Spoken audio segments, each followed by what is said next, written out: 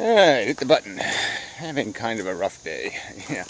Second try at this uh, voyage. I had to go take a nap.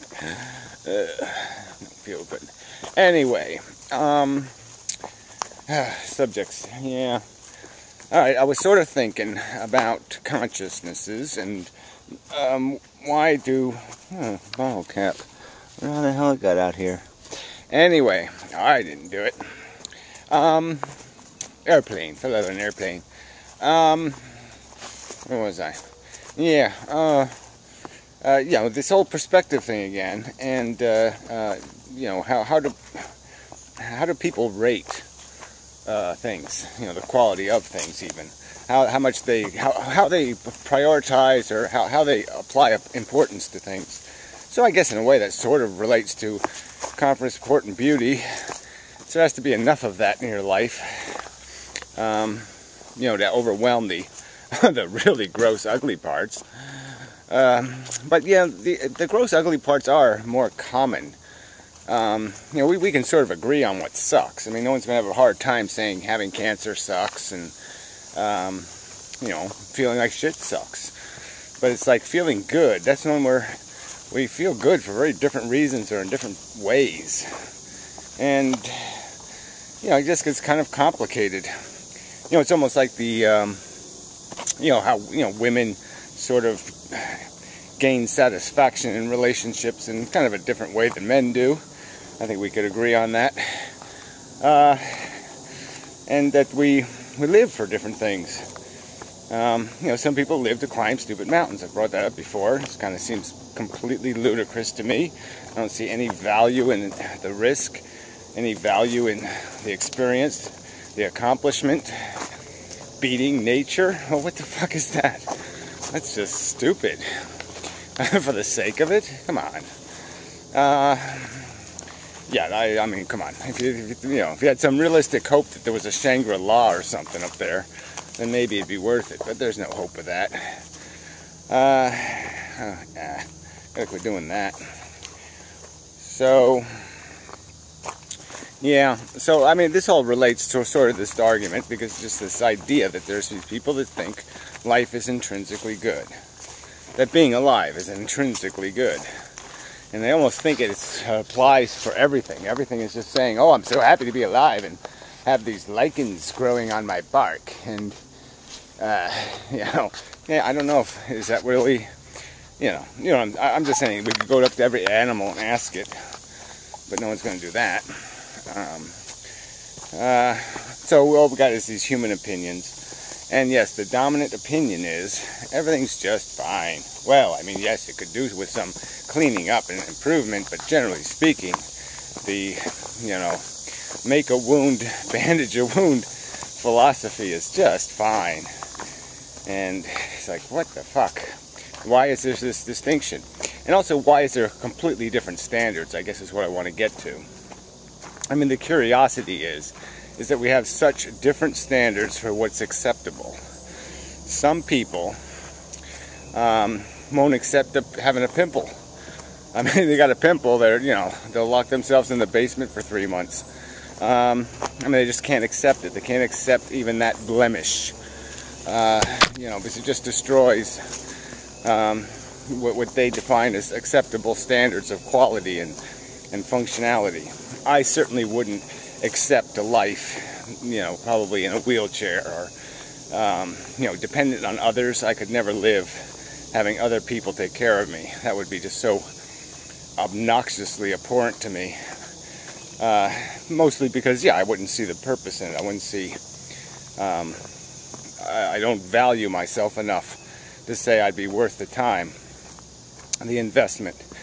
Um, so, yeah, it would be disgusting even. And I guess and also that's part of it too. It'd just be disgusting.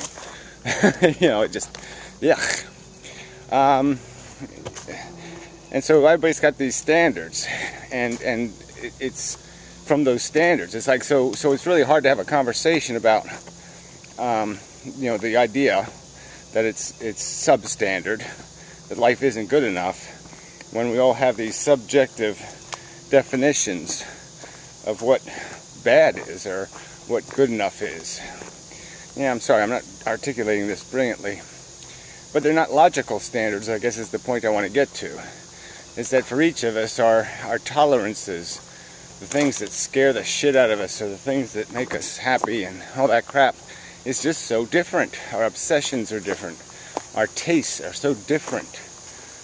Uh, but it's all not, they're not rational standards. Um, the only part that's rational is is the fact that when we do the math, we base it on the economy that's been established inside our head, the dollar values. Like this is worth that. I would pay this much for that. Um, you know, kind of thing. Um, and uh, yeah, so and for each person, there's a different value placed on these things. You know, security versus freedom, or you know, everything in in in our you know the realm we're living in. We have these different values and we do the math once we've established the values are kind of established by us subjectively. And so we do logical math in the sense that we make rational decisions based on our evaluations. But they're not rational in terms of the evaluations themselves.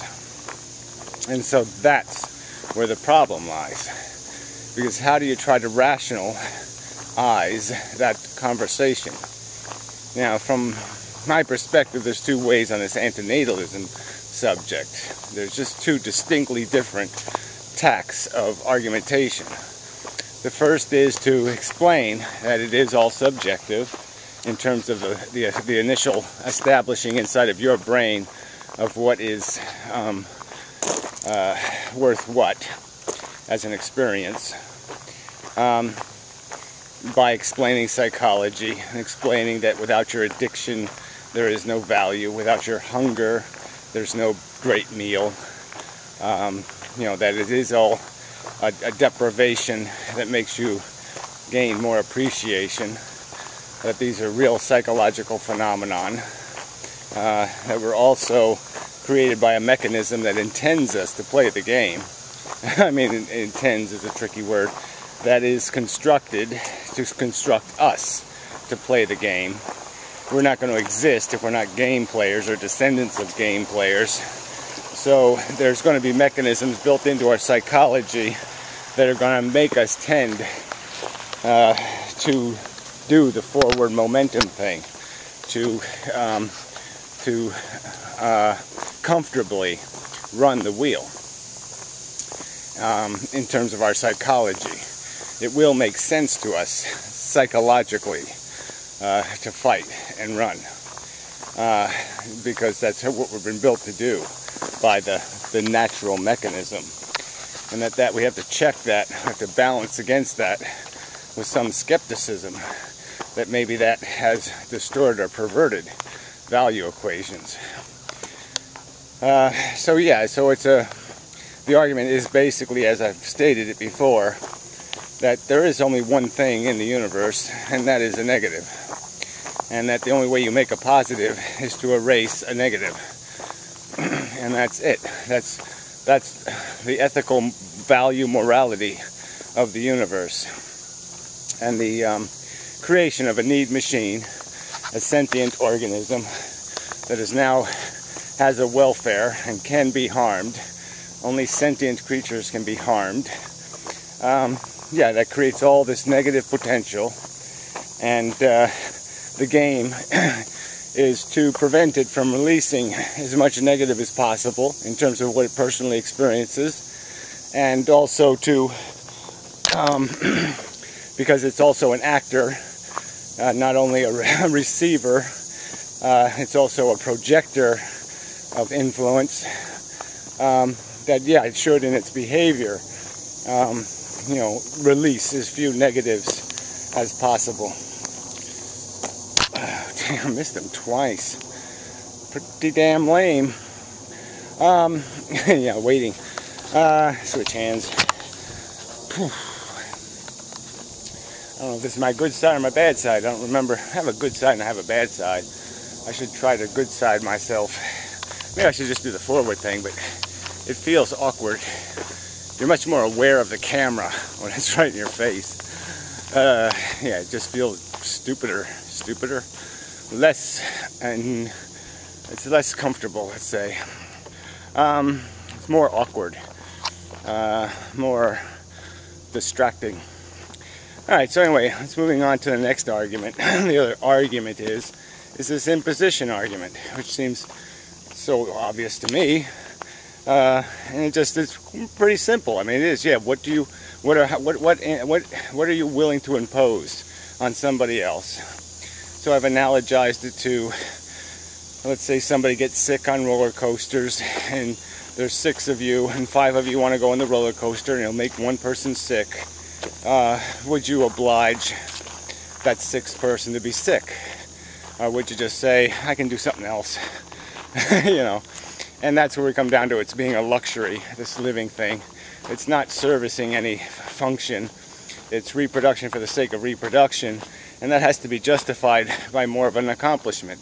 So, yeah, unless you're unless you're saving something else from a greater misery than the one person you're making sick, uh, you really can't justify uh, taking from that one person, imposing on that one person. And if you think you can, I would like you to articulate uh, your justification for that imposition. Why wouldn't it be suitable to call you rude or imposing or selfish uh, if that was an actual circumstance? And you decided to drag them along, to throw them in the trunk, so to speak, and uh, force them to play your game. Uh, yeah, so it's a simple argument the imposition argument, and uh, I don't, I, you know, it hasn't been rationally dealt with. The only people dealing with it are just saying something stupid like, "I didn't reproduce, my cells did it," you know. So, how you doing? Oh. Uh, a dog and his human. Uh, so anyway, um, yeah, so sorry, this video is a little disconnected. I'm having a difficult day, and yeah, that's the way it is. Yeah, there are other things I want to get to, but I don't even know how to get to them yet. People send me a couple links to really, really, really dumb videos. And I'm like, oh, crap. You know, I mean, they're so dumb.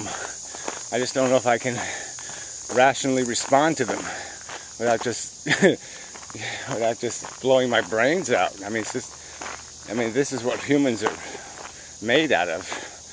Uh, it's just fuck it. I mean, they're too stupid. I can't talk to them. Damn. So irritating. You have to do this in some sort of stupid. I don't know. This has to be done like a step at a time, like with most things. You have to work people up to it. What it really needs is a good movie. We need to make an anti-natalist movie. So maybe that's the thing to do, is work on a good screenplay. Uh, yeah, I don't even know, you know, that really should work. But, you know, there's been Right to Die movies, and people have loved them and liked them and all that kind of crap, but doesn't seem to change policy anywhere, which is kind of a bummer. But I think it has changed mentalities. So I think if you could actually have a direct democracy for a day and vote on those kind of issues, I think it would win. So it's just a matter of getting through the politics now. The stubborn, stupid, moronic, myopic, you know, special interest politics. Don't want to go there. So I guess I'll finish up and go back to the psychology part again. Because that's what it really is. It's an argument between psychologies about what we should value and how much value we should place on it. I place very little value on the roller coaster ride, on the climbing of the mountain, uh, on the, you know, even the beautiful romantic uh, afternoon at the seashore or something, and the wonderful sunset, and the holding of the hands, and the uh, whatever. you know, Uh, it's good stuff, but I wouldn't make somebody else suffer for it to have it. And uh, so that's where this all kind of turns into shit. I mean, who's somebody else to tell somebody else what to feel or how to feel? So I'm not telling you how to feel. You can feel like life is wonderful. Go ahead. You can feel like your life, particularly, is wonderful and joyous and spectacular and magnificent. Uh, but I think you got to concede rationally that there are other sentient creatures on this planet who may not be experiencing sentience as wonderful. They may not feel it as uh, as wings. They might feel it as a lead knife through their head. you know, they might not be soaring. They might be being dug into the ground like a plow, force-fed dirt and rocks, and, uh, you know, forced to consume, uh, you know, something just disgusting and ugly to them. I mean, I just think it's rational to understand that your psychology isn't necessarily the only or right psychology. And even if there was no right and wrong, you still have to concede that until you find a cure for a psychology that finds life disagreeable, um, you really don't have a right to keep imposing it on the comfortably non-existent. And all of the non-existent are comfortably non-existent. Oh dear, people in my pool. Shame, shame. Har, har. Crap, crap. Shit, shit. damn, damn. Yes, it's double bad news. Alright, till next time.